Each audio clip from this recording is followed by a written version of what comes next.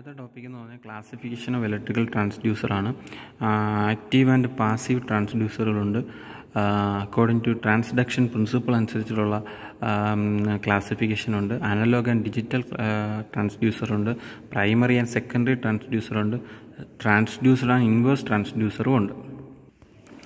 അപ്പോൾ ആക്റ്റീവ് ട്രാൻസ്ഡ്യൂസറുകളെ കുറിച്ച് പറയുകയാണെങ്കിൽ നമുക്ക് സെൽഫ് ജനറേറ്റിംഗ് ആയിട്ടുള്ള ഇലക്ട്രിക്കൽ ഔട്ട്പുട്ട് തരുന്ന ട്രാൻസ്ഡ്യൂസറുകളാണ് ആക്റ്റീവ് ട്രാൻസ്ഡ്യൂസറുകൾ എന്ന് പറയുന്നത്. അതായത് ഇപ്പോൾ ഫിസിക്കൽ ക്വാണ്ടിറ്റിയെ ഇത് ഡയറക്റ്റായിട്ട് തന്നെ ഇലക്ട്രിക്കൽ ക്വാണ്ടിറ്റീസ് ആയിട്ട് കൺവേർട്ട് ചെയ്യുന്നു. അതിന് ഒരു പവർ എക്സ്റ്റേണൽ ആയിട്ടുള്ള ഒരു പവർ സോഴ്സിന്റെയോ എനർജി സോഴ്സിന്റെയോ ഒരു ആവശ്യവും ഇതിൽ വരുന്നില്ല. ആക്റ്റീവ് ട്രാൻസ്ഡ്യൂസർ അത് തന്നെത്താനെ തന്നെ ഇലക്ട്രിക്കൽ ക്വാണ്ടിറ്റീസ് ആക്കി മാറ്റുന്നു self generating type ട്രാൻസ്ഡ്യൂസറാണ് these type of transducer develop an electrical parameter which is proportional to the quantity under measurement these transducer do not need electrical source or power active ട്രാൻസ്ഡ്യൂസേഴ്സിന് photovoltaic transducers ഉണ്ട് thermoelectric ഉണ്ട് piezoelectric ഉണ്ട് electro മാഗ്നറ്റിക്കും ഉണ്ട്. ഇനി അടുത്ത type ട്രാൻസ്ഡ്യൂസറുകളാണ് passive ട്രാൻസ്ഡ്യൂസറുകൾ എന്ന് പറയുന്നത്. ഈ പാസീവ് ട്രാൻസ്ഡ്യൂസറുകൾ എന്ന് പറഞ്ഞു കഴിഞ്ഞാൽ do not generate any electrical signal സ്വന്തമായിട്ട് ഇലക്ട്രിക്കൽ സിഗ്നൽ ജനറേറ്റ് ചെയ്യാനുള്ള പവർ ഇല്ലാത്ത ട്രാൻസ്ഡ്യൂസറുകളാണ് പാസീവ് ട്രാൻസ്ഡ്യൂസറുകൾ എന്ന് പറയുന്നത്.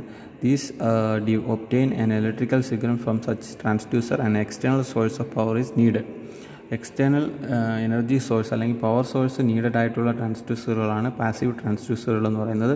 Passive ട്രാൻസ്ഡ്യൂസറുകൾ depend upon change in electrical parameters like R L resistance inductance capacitance ഇതിന്റെയൊക്കെ വാല്യൂ ചേഞ്ച് ചെയ്യുന്നതിനനുസരിച്ചിട്ടായിരിക്കും എന്ത് നമ്മൾ മെഷർ ചെയ്യുന്ന ഇലക്ട്രിക്കൽ ക്വാണ്ടിറ്റി കിട്ടുന്നത്. അതിൽ നിന്ന് എന്ത് മനസ്സിലാക്കാം? നമ്മൾ എക്സ്റ്റേണൽ ആയിട്ടൊരു പവർ സോഴ്സ് കൊടുത്ത് അതിനെ എക്സൈറ്റ് ചെയ്യുന്ന അല്ലെങ്കിൽ ഇൻഡക്ടറിനെയും കപ്പാസിറ്ററിനെയും റെസിസ്റ്ററിനെയും എക്സൈറ്റ് ചെയ്യുന്ന ഒരു സർക്യൂട്ട് ഒരു ക്ലോസ്ഡ് സർക്യൂട്ട് ഉണ്ടെങ്കിൽ മാത്രമേ നമുക്ക് പവർ പവർ ഡെലിവറി ചെയ്യുന്ന ഒരു സർക്യൂട്ട് ഉണ്ടെങ്കിൽ മാത്രമേ നമുക്ക് ഇലക്ട്രിക്കൽ ക്വാണ്ടിറ്റീസ് നമുക്ക് കിട്ടത്തുള്ളൂ. അതിനെയാണ് പാസീവ് ട്രാൻസ്ഡ്യൂസറുകൾ എന്ന് പറയുന്നത്. These are also known as externally power driven transducers എന്ന് പറയാം. അതിന് വേരിയബിൾ റെസിസ്റ്റൻസ് ട്രാൻസ്ഡ്യൂസറുകളുണ്ട് ഒപ്റ്റോ ഇലക്ട്രിക് ട്രാൻസ്ഡ്യൂസറുകളുണ്ട് വേരിയബിൾ റിയാക്റ്റൻസ് റിയാക്റ്റൻസ് എന്ന് പറഞ്ഞാൽ കപ്പാസിറ്റൻസ് അല്ലെങ്കിൽ ഇൻഡക്റ്റൻസ് അങ്ങനെയാണ് വരുന്നത്. വേരിയബിൾ റെസിസ്റ്റൻസിന് തന്നെ ഫോട്ടോ കണ്ടക്ടേഴ്സ് ഉണ്ട് സ്ട്രെയിൻ ഗേജ് ഉണ്ട് തെർമിസ്റ്റർ ഉണ്ട്. ഒപ്റ്റോ ഇലക്ട്രോണിക് ആണെങ്കിൽ photoemission junction photo junctions ഉണ്ട്. അങ്ങനെ കുറേ ട്രാൻസ്ഡ്യൂസറിന്റെ ക്ലാസിഫിക്കേഷൻ വരുന്നുണ്ട്. ഇത് ഈ ടാബ്ലർ കോള സോറി ഈ ഒരു ഫ്ലോ ചാർട്ടായിട്ട് നിങ്ങൾ വരച്ച് പഠിച്ചു വെച്ചിരിക്കുക. Variable real reluctance permeability L V D T eddy current ഇതിനെക്കുറിച്ചെല്ലാം പിന്നീട് നമ്മൾ വിശദമായി നമ്മൾ പഠിക്കുന്നുണ്ട്. അപ്പോൾ ഇതൊരു എക്സ്പാ എക്സാമ്പിളായിട്ട് നിങ്ങൾ നോക്കി വെച്ചിരുന്നാൽ മതി. Okay according to transduction principle അനുസരിച്ചിട്ട് നമുക്ക് ട്രാൻസ്ഡ്യൂസറിനെ നമുക്ക് കുറേ ആയിട്ട് ക്ലാസിഫൈ ചെയ്യാം. അതിലെ ഏറ്റവും പ്രധാനപ്പെട്ടതാണ് കപ്പാസിറ്റീവ് ട്രാൻസ്ഡക്ഷൻ ട്രാൻസ്ഡക്ഷൻ എന്ന് പറഞ്ഞാൽ ട്രാൻസ്ഡക്ഷൻ പ്രൊസീജിയറിന്റെ എന്താണ്? ട്രാൻസ്ഡ്യൂസർ കൺവേർട്ട് ചെയ്യുന്ന പ്രൊസീജിയറിന്റെ ഓരോ പ്രൊസീജിയറിന്റെ ഓരോ മെത്തേഡ് അനുസരിച്ചിട്ട് അതിനെ ക്ലാസിഫൈ ചെയ്തിരിക്കുന്നു. എന്നൊക്കെ പറഞ്ഞാൽ കപ്പാസിറ്റീവ് ട്രാൻസ്ഡക്ഷൻ അതിനുവേണ്ടി നമ്മൾ ഉപയോഗിക്കുന്ന ഒരു കപ്പാസിറ്റൻസിന്റെ വാല്യൂ ആണ് നമ്മളതിൽ മെഷർ ചെയ്യാൻ വേണ്ടി ഉപയോഗിക്കുന്നത്. എങ്ങനെയാണ്? കപ്പാസിറ്റൻസ് ഉണ്ടാക്കാൻ വേണ്ടി രണ്ട് ഇലക്ട്രോ പ്ലേറ്റ്സുകൾ വയ്ക്കുന്നു consist of two conductor plate separated by insulation അല്ലെങ്കിൽ ഡയലക്ട്രിക് നമ്മൾ കപ്പാസിറ്റൻസിന്റെ ഡയലക്ട്രിക്കും അതിന്റെ കോൺസ്റ്റന്റുകളെ കുറിച്ചും വിശദമായി പഠിച്ചിട്ടുണ്ട്. അപ്പോൾ ചേഞ്ച് ഇൻ കപ്പാസിറ്റൻസ് നമ്മൾ ചേഞ്ച് ഇൻ കപ്പാസിറ്റൻസിന്റെ അതായത് ആ ഇലക്ട്രോ പ്ലേറ്റ്സുകൾ തമ്മിൽ മൂവ് ചെയ്യുകയോ അതിന്റെ അതിന്റെ ഫിക്സ് പൊസിഷൻസുകളിൽ പൊസിഷൻസുകളിൽ വേരിയേഷൻ ഉണ്ടാവുകയോ ചെയ്യുമ്പോൾ ഡയലക്ട്രിക്കൽ കോൺസ്റ്റന്റിനും കപ്പാസിറ്റൻസിനും വാല്യൂ ചേഞ്ച് വരും. ആ ഒരു മെത്തേഡ് ഉപയോഗിച്ചിട്ട് നമ്മൾ മെഷർ ചെയ്യാൻ വേണ്ടി ഉപയോഗിക്കും. അതായത് മെയിൻലി നമ്മൾ ഡിസ്പ്ലേസ്മെന്റുകളാണ് ഈ കപ്പാസിറ്റീവ് ട്രാൻസ്ട്രക്ഷൻ പ്രിൻസിപ്പിൾ വെച്ചിട്ട് നമ്മൾ ചെയ്യുന്നത്. കപ്പാസിറ്റി ഓഫ് ഇലക്ട്രോ പ്ലേറ്റുകളുടെ വേരിയേഷൻ ഉണ്ടാകുമ്പോൾ നമുക്ക് അതിനനുസരിച്ചുള്ള ഇലക്ട്രിക്കൽ ക്വാണ്ടിറ്റീസ് കിട്ടുന്നു. അതിന് എക്സാമ്പിളാണ് രണ്ട് മൂവിങ് പ്ലേറ്റുകൾ അതായത് ഒരു ഒരു ഫിക്സഡ് ആയിട്ട് ഒരു ഇലക്ട്രോ പ്ലേറ്റും വയ്ക്കും ഒരു മൂവബിൾ ആയിട്ടൊരു മൂവിങ് പ്ലേറ്റും വയ്ക്കും അപ്പോൾ ഇത് ഇതിന്റെ അങ്ങോട്ടും ഇങ്ങോട്ടും നമ്മൾ സപ്ലൈ ഇതിന് ക്രോസ് ആയിട്ട് നമ്മൾ കൊടുക്കുന്നു. എന്നിട്ട് ഈ കപ്പാസിറ്റൻസ് ചേഞ്ച് വാല്യൂ ചേഞ്ച് ചെയ്യുന്നത് എന്ത് കാരണം? ഇതിന്റെ വിട്ട് അതായത് കപ്പാസിറ്റൻസ് എന്ന് പറയുന്നത് കപ്പാസിറ്റൻസ് എന്ന് പറയുന്ന രണ്ട് ഡയലക്ട്രിക് പ്ലേറ്റ്സ് അല്ലെങ്കിൽ ഇലക്ട്രോ പ്ലേറ്റ്സിനിടയ്ക്കുള്ള കപ്പാസിറ്റൻസ് എന്ന് പറയുന്നത് epsilon zero A by D എന്ന് പറയുന്ന ഒരു ഇക്വേഷൻ അനുസരിച്ചിട്ടാണ് വർക്ക് ചെയ്യുന്നത്. Epsilon zero A by D epsilon zero എന്ന് പറഞ്ഞാൽ ഡയലക്ട്രിക്കുമായി ബന്ധപ്പെട്ട കോൺസ്റ്റന്റ് ആണ്. എ എന്ന് പറയുന്ന ഏരിയ ഓഫ് ഡയലക്ട്രിക് അതിനകത്തുള്ള ഏരിയ ഓഫ് ഡയലക്ട്രിക് ആണ്. ഡി എന്ന് പറയുന്നത് സോറി എ എന്ന് പറയുന്ന ഏരിയ ഓഫ് ഇലക്ട്രോ പ്ലേറ്റ് ആണ്. ഡി എന്ന് പറയുന്ന distance between two plates C is equal to epsilon zero A by D എന്നൊരു ഇക്വേഷൻ ഉണ്ട്. ഏരിയ എന്ന് എ എന്ന് പറയുന്ന ഏരിയ ഓഫ് പ്ലേറ്റാണ് ഇലക്ട്രിക് പ്ലേറ്റിന്റെ ഏരിയ ആണ്. ഡി എന്ന് പറയുന്ന ഡിസ്റ്റൻസ് ബിറ്റ്വീൻ ടു പ്ലേറ്റ്സ് രണ്ട് പ്ലേറ്റ്സ് ഉണ്ടെങ്കിൽ അതിനൊക്കെയുള്ള ഡിസ്റ്റൻസുകളാണ് ഡി എന്ന് ഉദ്ദേശിക്കുന്നത്. ഇത് ഏരിയ ഓഫ് പ്ലേറ്റാണ് ഇതിന്റെ ഏരിയ എന്ന് പറഞ്ഞാൽ വിസ്തീർണം ഏരിയ ഓഫ് പ്ലേറ്റാണ് നമ്മൾ ഉദ്ദേശിക്കുന്നത്. ഡി എന്ന് പറയുന്നത് ഡിസ്റ്റൻസ് ബിറ്റ്വീൻ ടു പ്ലേറ്റ്സ് അപ്പം ഇത് വെച്ച് കപ്പാസിറ്റൻസ് വേരി നമ്മൾ ഡിസ്റ്റൻസ് മാറ്റുന്നതനുസരിച്ചിട്ട് കപ്പാസിറ്റൻസിൽ വേരിയേഷൻ ഉണ്ടാകും ഡിസ്റ്റൻസ് കൂട്ടുമ്പോൾ കപ്പാസിറ്റൻസ് കുറയും. ഡിസ്റ്റൻസ് കുറയ്ക്കുമ്പോൾ കപ്പാസിറ്റൻസ് കൂടും. Because C is inversely proportional distance so അങ്ങനെ ഒരു അങ്ങനെ ഒരു ഇക്വേഷൻ അനുസരിച്ചിട്ട് നമുക്ക് കപ്പാസിറ്റൻസിന്റെ വാല്യൂ ചേഞ്ച് ചെയ്യുന്നതനുസരിച്ച് നമുക്ക് ഡിസ്പ്ലേസ്മെന്റ് കാൽക്കുലേറ്റ് ചെയ്യാൻ സാധിക്കും. ഇനി അടുത്തതെന്ന് ഇലക്ട്രോ മാഗ്നറ്റിക് ട്രാൻസ്ഡക്ഷനാണ് ഇലക്ട്രോ മാഗ്നറ്റിക് ട്രാൻസ്ഡക്ഷൻ എന്ന് പറഞ്ഞു കഴിഞ്ഞാൽ ഒരു കോയിൽ വെച്ചിട്ടുണ്ട്. ആ കോയിലിനകത്ത് നമ്മൾ എക്സ്റ്റേണലി കൊടുക്കുന്ന സപ്ലൈ ഉണ്ട്. അതിനകത്ത് മാഗ്നറ്റിക് ഫീൽഡ് ഉണ്ടാവും. അപ്പോൾ മാഗ്നറ്റിക് ഫീൽഡ് ഉണ്ടാകുമ്പോൾ നമ്മളൊരു കറ ഒരു കണ്ടക്ടറിനെ കൊണ്ടുവന്ന് ആ കോയിലിനകത്തോട്ട് വയ്ക്കുമ്പോൾ പ്ലേസ് ചെയ്യുമ്പോൾ ആ കോയിലിനകത്ത് ആ കണ്ടക്ടർ മൂവ് ചെയ്യുമ്പോൾ നമുക്ക് ഇൻഡ്യൂസ് ഡി എം എഫ് ഉണ്ടാവും. ആ ഒരു ഇലക്ട്രോ മാഗ്നറ്റിക് ഇൻഡക്ഷൻ ഉണ്ടാവും. ഒരു യൂണിഫോം മാഗ്നറ്റ് ഫീൽഡിനകത്ത് നമ്മൾ ഈ കണ്ടക്ടറിനെ കൊണ്ടുവന്ന് മൂവ് ചെയ്യുമ്പോൾ നമുക്ക് ഇലക്ട്രോ മാഗ്നറ്റിക് ഇൻഡക്ഷൻ അല്ലെങ്കിൽ ഇ എം എഫ് പ്രൊഡ്യൂസ് ചെയ്യും. ആ ഒരു പ്രിൻസിപ്പിൾ വെച്ചിട്ട് വർക്ക് ചെയ്യുന്ന ട്രാൻസ്ഡ്യൂസേഴ്സുകളാണ് ഇലക്ട്രോ മാഗ്നറ്റിക് ട്രാൻസ്ഡക്ഷൻ എന്ന് പറയുന്നത്. Measured is measured measured is converted into electromotive force അതായത് ഇ എം എഫ് ആയിട്ട് കൺവേർട്ട് ചെയ്യുന്നു. Induced in a conductor by changing its magnetic field magnetic ഫീൽഡിൽ ചേഞ്ച് ഉണ്ടാകുമ്പോൾ നമുക്ക് ഇൻഡ്യൂസ്ഡ് ഇ എം എഫ് ഉണ്ടാവും. Magnetic ഫ്ലക്സിൽ in the absence of excitation നമുക്ക് excitation ഇല്ലാതെ നമുക്ക് പ്രൊവൈഡ് ചെയ്യാൻ സാധിക്കുന്നത്. അതായത് പെർമനന്റ് മാഗ്നറ്റ് വെച്ചാൽ മതി. സോ അങ്ങനെയും നമുക്കുണ്ടാക്കാം. ആക്റ്റീവ് ഇതിൽ ഇതിനകത്ത് ആക്റ്റീവ് ടൈപ്പ് ട്രാൻസ്ഡ്യൂസേഴ്സും ഉണ്ട്. പാസീവ് ടൈപ്പ് ട്രാൻസ്ഡ്യൂസേഴ്സും ഉണ്ട്. പെർമനന്റ് മാഗ്നറ്റാണ് യൂസ് ചെയ്യുന്നതെങ്കിൽ നമുക്ക് ആക്റ്റീവ് ആക്റ്റീവ് ട്രാൻസ്ഡ്യൂസേഴ്സ് ആക്കാം. ഇലക്ട്രോ മാഗ്നറ്റാണ് യൂസ് ചെയ്യുന്നതെങ്കിൽ ഇത് പാസീവ് ട്രാൻസ്ഡ്യൂസറാക്കി മാറ്റാം.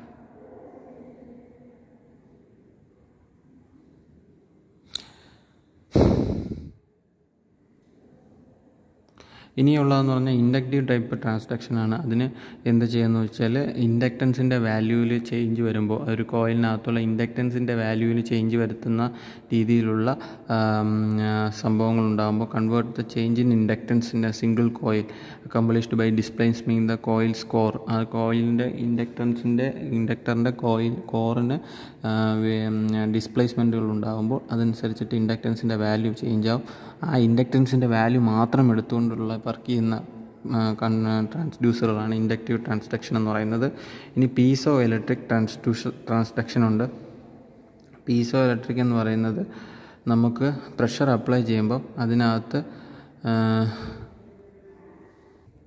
പ്രഷർ അപ്ലൈ ചെയ്യുമ്പോൾ നമുക്ക് piezoelectric transduction മെഷറിന്റെ is converted into change in charge in electric charge കൂളോമ്പിൽ നമുക്ക് ചാർജിന്റെ വേരിയേഷൻ ഉണ്ടാവും. അപ്പോൾ ആ ചാർജിന്റെ വേരിയേഷൻ അനുസരിച്ചിട്ട് വോൾട്ടേജ് ജനറേറ്റ് ചെയ്യുന്നതിനെ മെഷർ ചെയ്തിട്ട് അത് വെച്ചിട്ട് ഉപയോഗിക്കുന്നതാണ് പീസോ ഇലക്ട്രിക് ട്രാൻസ്ഡ്യൂസർ എന്ന് പറയുന്നത്. ഫോട്ടോ വോൾട്ടായിക് എന്ന് പറഞ്ഞു കഴിഞ്ഞാൽ നമ്മുടെ സോളാർ സെല്ല് പോലത്തെ ഒരു സംഭവമാണ്. എപ്പോഴാണോ കൂടുതൽ സോളാർ അല്ലെങ്കിൽ ലൈറ്റ് നമുക്ക് കിട്ടുന്നതനുസരിച്ചിട്ട് നമുക്ക് എന്താണ് സംഭവിക്കുന്നത്? ലൈറ്റിന്റെ എനർജി മാറുന്നതനുസരിച്ചിട്ട് നമുക്കുണ്ടാകുന്ന കറണ്ട് ക്യാരിയേഴ്സ് ആയിട്ടുള്ള ഇലക്ട്രോൺസിന്റെ അല്ലെങ്കിൽ കറണ്ട് ക്യാരിയേഴ്സ് ഒരു സെമി കണ്ടക്ടർ ഡിവൈസിൽ കൂടും ഫോട്ടോ അതായത് ലൈറ്റിന്റെ സാന്നിധ്യത്തിൽ കറണ്ട് ക്യാരിയേഴ്സ് നമ്മുടെ ഒരു സെമി കണ്ടക്ടർ ഡിവൈസിനകത്ത് കൂടുന്ന സമയത്ത് അല്ലെങ്കിൽ ഒരു പി എൻ ജംഗ്ഷൻ ഡയോഡിനകത്ത് നമ്മൾ ലൈറ്റിന്റെ പ്രസൻസ് കൊണ്ടുവയ്ക്കുകയാണെങ്കിൽ നമുക്ക് ഇലക്ട്രോ ഇലക്ട്രിക് ക്യാരിയേഴ്സ് കൂടുകയും അതിന്റെ വേരിയേഷൻ അനുസരിച്ചിട്ട് നമ്മളതിനെ മെഷർ ചെയ്യെടുക്കുന്നു ഇനി ഫോട്ടോ കണ്ടക്റ്റീവ് എന്ന് പറയുന്നത് നമ്മൾ റെസിസ്റ്റൻസിനുണ്ടാകുന്ന ചേഞ്ച് ലൈറ്റ് വന്ന് ലൈറ്റ് വന്ന് വീഴുമ്പോൾ നമുക്കനുസരിച്ച് അതനുസരിച്ചിട്ടുള്ള റെസിസ്റ്റൻസിൽ വേരിയേഷൻസ് ഉണ്ടാകുന്നു ആ റെസിസ്റ്റൻസിന്റെ വേരിയേഷൻ നമ്മൾ മെഷർ ചെയ്ത് ഉപയോഗിക്കുന്ന രീതിയാണ് ഫോട്ടോ കണ്ടക്റ്റീവ് ട്രാൻസ്ഡക്ഷൻ എന്ന് പറയുന്നത്.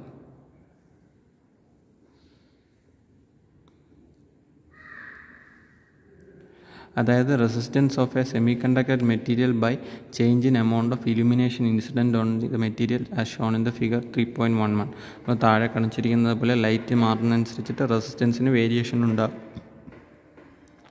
ഇനി അടുത്തൊന്ന് അനലോഗ് ആൻഡ് ഡിജിറ്റൽ ട്രാൻസ്ഡ്യൂസറുകളുണ്ട്.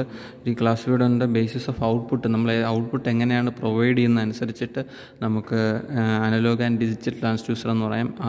അനലോഗ് ഔട്ട്പുട്ടാണ് കിട്ടുന്നതെങ്കിൽ അനലോഗ് ട്രാൻസ്ഡ്യൂസറും ഡിജിറ്റൽ ഔട്ട്പുട്ട് കിട്ടുകയാണെങ്കിൽ ഡിജിറ്റൽ ട്രാൻസ്ഡ്യൂസർ എന്ന് പറയാം.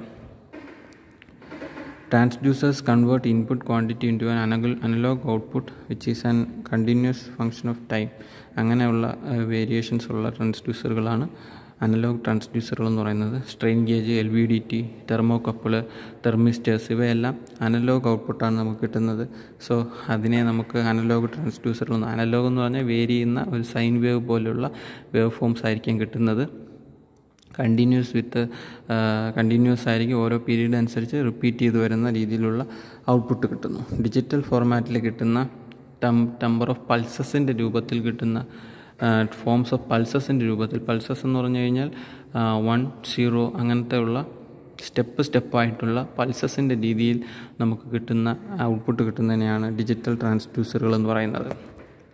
ഇനി അടുത്തതെന്ന് പറഞ്ഞാൽ പ്രൈമറി ആൻഡ് സെക്കൻഡറി ട്രാൻസ്ഡ്യൂസറുകളുണ്ട് അതായത് പ്രൈമറി ഓർ സെക്കൻഡറി എന്ന് പറഞ്ഞാൽ some transducers consist of mechanical device along with electrical device in such transducer mechanical device act as primary transducer and converts physical quantity into mechanical signal the electrical device then converts into mechanical signal to electrical signal അതായത് നമുക്ക് പറയുന്നതെന്ന് പറഞ്ഞു കഴിഞ്ഞാൽ primary secondary ട്രാൻസ്ഡ്യൂസറുകളുണ്ട് രണ്ട് ട്രാൻസ്ഡ്യൂസറുകളാണ് ആ സിസ്റ്റത്തിനകത്ത്. ഒന്നെന്ന് പറയുന്ന mechanical ക്വാണ്ടിറ്റിയെ വേറൊരു മെഷറബിൾ ആയിട്ടുള്ള മെക്കാനിക്കൽ ക്വാണ്ടിറ്റി തന്നെ ആദ്യം മാറ്റുന്നു. എന്നിട്ട് ആ മെക്കാനിക്കൽ ക്വാണ്ടിറ്റിയെ വീണ്ടും ഇലക്ട്രിക്കൽ ക്വാണ്ടിറ്റി ആക്കുന്നത് secondary ട്രാൻസ്ഡ്യൂസറുകളാണ്. For example pressure measurement Bourdon's tube Bourdon's tube act as primary transducer pressure measurement ഉപയോഗിക്കുന്നത് Bourdon's tube act primary transfer which converts pressure into displacement അതായത് പ്രഷറിനെ ആദ്യം ഡിസ്പ്ലേസ്മെന്റ് ആക്കി കൺവേർട്ട് ചെയ്തതിന് ശേഷം അത് എൽ വി ഡി ടി ആണ്. And എന്നിട്ട് L V D T use ചെയ്തിട്ട് നമ്മളത് സെക്കൻഡറി ട്രാൻസ്ഡ്യൂസർ യൂസ് ചെയ്തിട്ട് മെക്കാനിക്കൽ ഔട്ട്പുട്ടിനെ നമ്മൾ വീണ്ടും ഇലക്ട്രിക്കൽ ഔട്ട്പുട്ടാക്കി മാറ്റുന്നു. അതായത് പ്രഷറിനെ ആദ്യം ഡിസ്പ്ലേസ്മെന്റ് ആക്കി മാറ്റുന്നു. ഡിസ്പ്ലേസ്മെന്റിനെ വീണ്ടും നമ്മൾ ഇലക്ട്രിക്കൽ ക്വാണ്ടിറ്റി ആക്കി മാറ്റുന്നു. ഔട്ട്പുട്ട് കൊടുത്തിട്ട് നമ്മൾ എന്താ ചെയ്യുക? ബോർഡൻസ് ട്യൂബ് എന്ന് പറയുന്നത് ബോർഡൻസ് ട്യൂബ് എന്ന് പറയുന്നത് നമ്മളൊരു ഒരു ഒരു ടൈപ്പ് ഓഫ് ഒരു അറേഞ്ച്മെന്റ് ആണ്. ഇതിൽ കാണിച്ചിരിക്കുന്ന പോലെ ബോർഡേഴ്സ് ട്യൂബ് കൊടുത്തിട്ട് നമ്മൾ പ്രഷർ അപ്ലൈ ചെയ്യുമ്പോൾ പ്രഷർ അപ്ലൈ ചെയ്യുമ്പോൾ നമുക്ക് ഈ പുള്ളിയുമായി കണക്ട് ചെയ്തിരിക്കുന്ന വയർ അല്ലെങ്കിൽ കണക്റ്റിംഗ് വയറിന് വേരിയേഷൻ ഉണ്ടാവുകയും നമ്മൾ ഈ ബോർഡൻസ് ട്യൂബിൽ നമ്മൾ പ്രഷർ അപ്ലൈ ചെയ്യുമ്പോൾ അത് വാട്ടർ ലെവൽ വച്ചിട്ടുള്ള ഒരു ഡിവൈസാണ് അത് അതനുസരിച്ച് ആ വാട്ടർ ലെവലിലെ ചേഞ്ച് മാറുന്നതനുസരിച്ചിട്ട് പുള്ളിയിൽ കണക്ട് ചെയ്തിരിക്കുന്ന വയറിന് ഡിസ്പ്ലേസ്മെന്റ് ഉണ്ടാകും ആ ഡിസ്പ്ലേസ്മെന്റ് ഉണ്ടാകുന്ന ഡിവൈസ് അതായത് ബോർഡൻസ് ട്യൂബിനെയാണെന്ന് പറയുന്നത് പ്രൈമറി ഡിവൈസ് എന്ന് പറയുന്നത്. അതായത് മെക്കാനിക്കലിനെ തന്നെ മെക്കാനിക്കലായിട്ട് വേറൊരു ഫോർമാറ്റിലേക്ക് നമ്മൾ കൺവേർട്ട് ചെയ്തു. എന്നിട്ട് അതിനെ എൽ വി ഡി ടിയുമായി കണക്ട് ചെയ്യും എൽ വി ഡി ടി എന്ന് പറയുന്നത് ഫിസിക്കൽ ക്വാണ്ടിറ്റി അല്ലെങ്കിൽ മെഷർഡ് സോറി മെക്കാനിക്കൽ ക്വാണ്ടിറ്റിയെ ഇലക്ട്രിക്കൽ അല്ലെങ്കിൽ ഡിസ്പ്ലേസ്മെന്റിനെ ഇലക്ട്രിക്കൽ ക്വാണ്ടിറ്റിയാക്കി മാറ്റുന്ന ഡിവൈസാണ് അപ്പോൾ അതനുസരിച്ച് L V D T use ചെയ്തിട്ട് നമ്മളത് സെക്കൻഡറി ഡിവൈസായിട്ട് കൺസിഡർ ചെയ്ത് ഔട്ട്പുട്ട് എടുക്കുന്നു. ഇനി അടുത്ത ക്ലാസിഫിക്കേഷനാണ് ട്രാൻസ്ഡ്യൂസർ ആൻഡ് ഇൻവേഴ്സ് ട്രാൻസ്ഡ്യൂസർ എന്ന് പറയുന്നത്. Transducer convert non electrical quantity into electrical quantity whereas inverse transducer converts electrical quantity to mechanical sorry അല്ലെങ്കിൽ നോൺ ഇലക്ട്രിക്കൽ ക്വാണ്ടിറ്റി ആക്കി മാറ്റുന്ന നമ്മൾ ഇലക്ട്രിക്കലിനെ നോൺ ഇലക്ട്രിക്കൽ ആക്കി മാറ്റുന്ന ഡിവൈസുകളാണ് ഇൻവേഴ്സ് ട്രാൻസ്ഡ്യൂസറുകൾ എന്ന് പറയുന്നത്.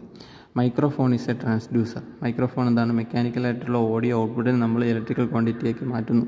പക്ഷേ ഒരു ലൗഡ് സ്പീക്കർ എന്ന് പറയുന്നത് എപ്പോഴും ഇൻവേഴ്സ് ട്രാൻസ്ഡ്യൂസറാണ് ഇലക്ട്രിക്കൽ ക്വാണ്ടിറ്റിയെ വീണ്ടും മെക്കാനിക്കലായിട്ടുള്ള സോറി നോൺ ഇലക്ട്രിക്കലായിട്ടുള്ള ഓഡിയോ ഔട്ട്പുട്ടാക്കി മാറ്റുന്നു. അങ്ങനെയാണ് നമ്മൾ ഇൻവേഴ്സ് ട്രാൻസ്ഡ്യൂസറും ട്രാൻസ്ഡ്യൂസറും കുറിച്ച് പഠിക്കുന്നത്.